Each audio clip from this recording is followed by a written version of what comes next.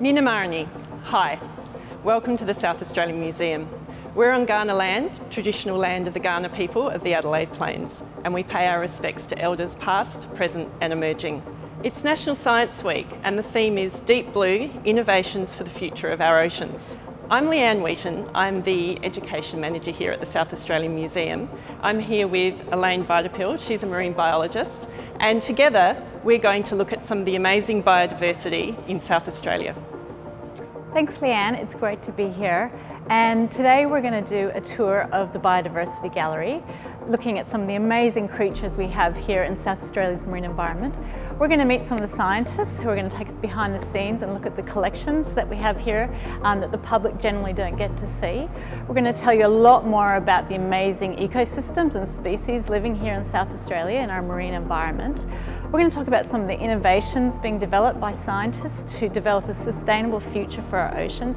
And we're also going to talk about things that each and every one of us can do to look after our oceans and therefore look after our planet. So let's go take a look.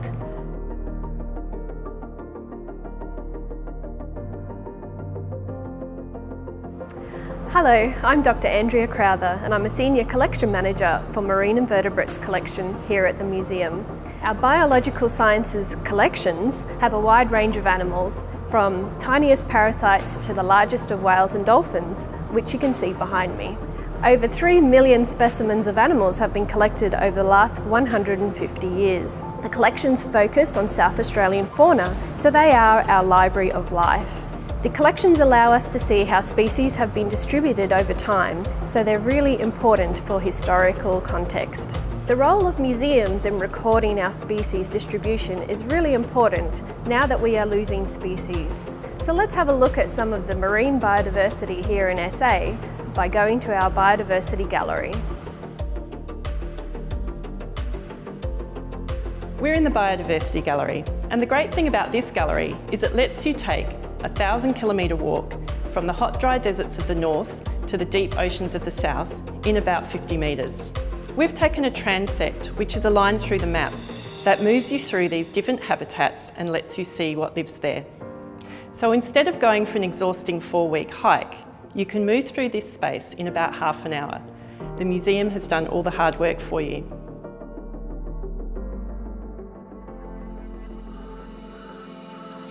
So now we're going to look at a bunch of the marine environments here in South Australia. We're going to start here at the coast and make our way out towards the open ocean. And each of these displays have been designed very specifically in great detail to show you the kinds of plants and animals that all live together and have evolved over millions of years to interact with each other and with the physical environment in which they live.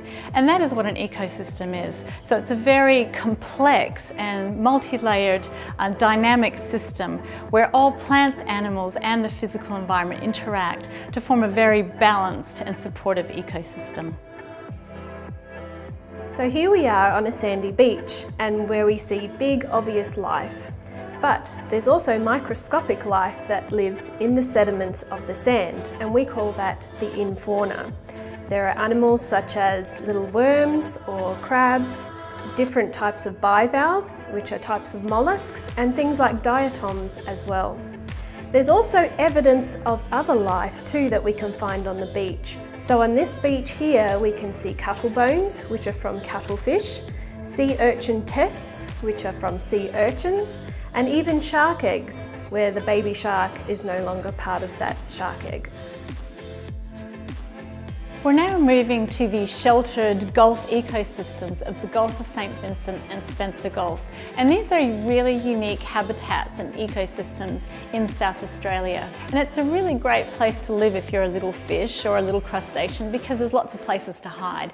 They're also really important habitats for recycling nutrients, for absorbing a lot of the carbon in our atmosphere and in our oceans because there's so much photosynthesis being carried out in these forests. So it's really important for reducing erosion of our shores here in South Australia.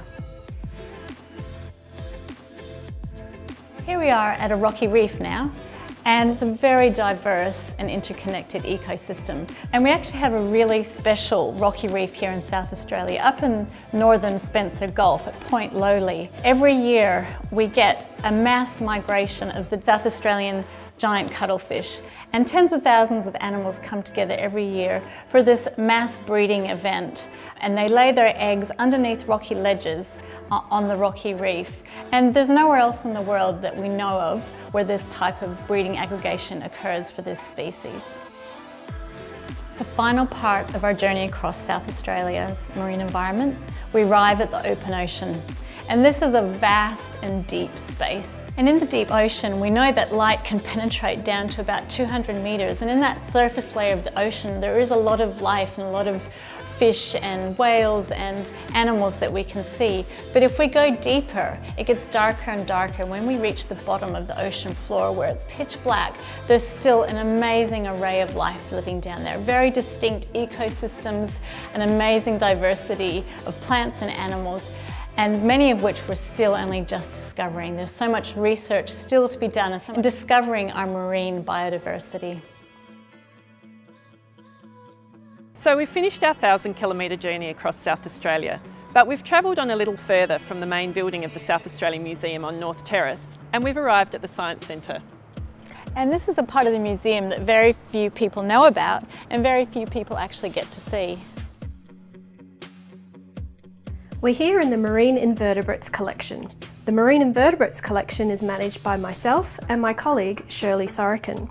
We look after about 23 phyla of animals and that includes examples like crabs, jellyfish, corals, mollusks, all different kinds that we'll show you a bit later. When a specimen comes into our collection, we make sure we give it an official registration number, we digitise the data into our database and then we file the specimen away in our collection. We store our collection taxonomically, which means species that are most closely related, you'll find them closer on the shelves. Here we have a very special specimen that's in our collection. It's a chiton, which is a type of mollusk collected from Tasmania in 1802 by French explorers. We think it's the earliest collected natural history specimen in our museum. Many marine invertebrates are very colourful and beautiful in real life.